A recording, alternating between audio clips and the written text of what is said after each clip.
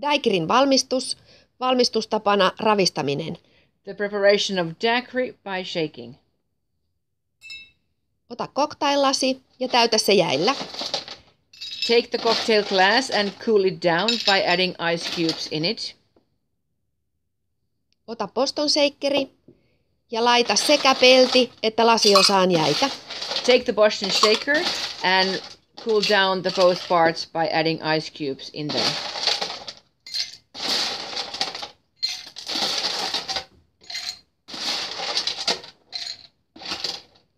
Ota tarvittavat raaka-aineet esille. Take the ingredients that you'll need. Poista Boston Shakerin lasiosasta jäät. Remove the ice cubes from the glass part.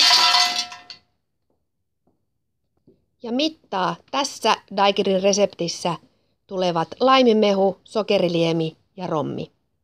And measure the alcohol, lime juice, and sugar that are used in this recipe into the measuring glass.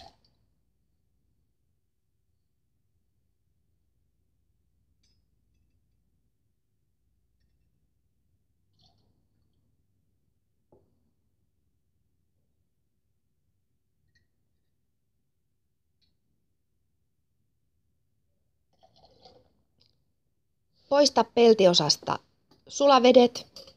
Remove the meltdown water from the metal part. Yhdistä lasiosa peltiosaan. Combine the two. Ravista. Shake.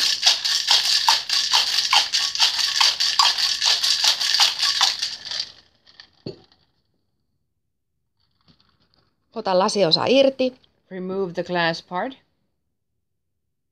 Poista jäät. Remove the ice cubes from the cocktail glass. Ja kaada juoma lasiin. Pour the ready-made drink into the cocktail glass. Laita juomaan koriste. Add the final decoration. Ja juoma on valmis. And the drink is ready.